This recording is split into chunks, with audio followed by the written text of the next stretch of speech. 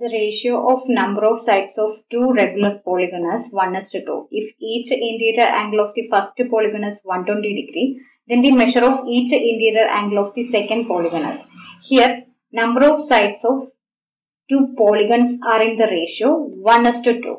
And interior angle of first polygon is 120 degree.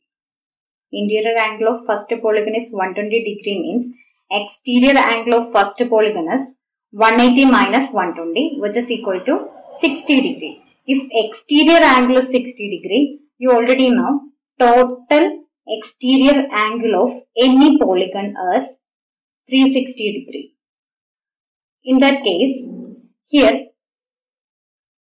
each of the exterior angle in the first polygon is 60 degree means number of sides of first polygon is total exterior angle divided by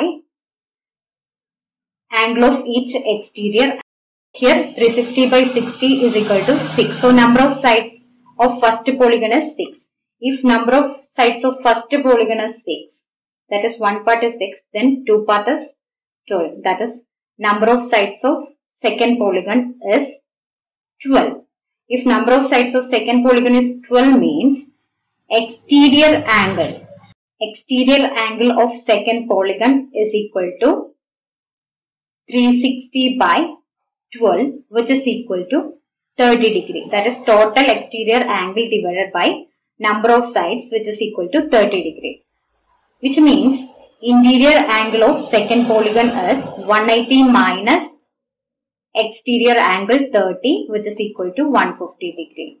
Because interior angle plus exterior angle is 180.